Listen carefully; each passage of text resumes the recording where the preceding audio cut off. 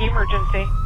My girlfriend Denise got kidnapped last night. And you didn't call last night when this occurred. I was tied up. Tell me what happened. I wake up. Bright light blinding us. Taser goes off.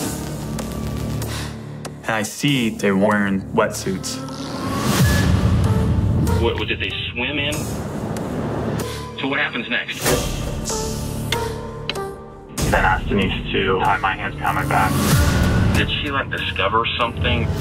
Found text messages. Is she mad? Accuse you of cheating? There's blood in your house. Do you know where she is? I didn't do anything. Yeah, you did. Oh my God, it's her. I just got a message. She's walking over to my house. I'd never heard of a case where the kidnappers drop their victim at the front door of their house. We thought she's this innocent victim. She looks more like a suspect.